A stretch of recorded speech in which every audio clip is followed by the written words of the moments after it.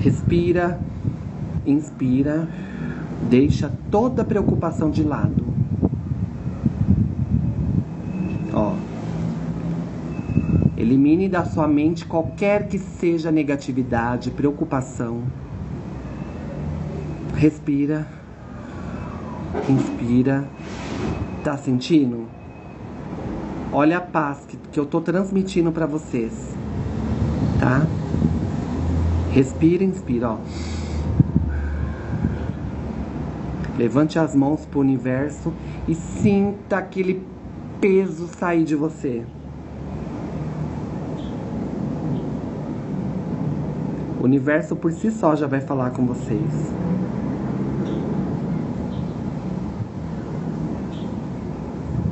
Se tiver pássaro, pássaros por aí funciona melhor, tá? A minha live é paz e amor. Tá vendo? Levitou, levitou, levita. Olha lá, ele levitou. O Paulo levitou, porque você é mais preparado do que outras pessoas. Doido de pé. Doido é você, amiga. Sai da minha live agora. É uma exigência minha. Tá?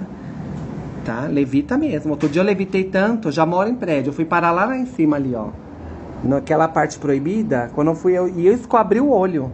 Que eu já tava voando mais. Então eu só levito no meu quarto, que eu bato a cabeça no teto e volto pra cama. É um perigo, não levite em áreas abertas, igual eu tô, ó. ó. De jeito nenhum áreas abertas, tá? Tive um amigo que até hoje não foi encontrado. Ele subiu de levitando, uma vez só.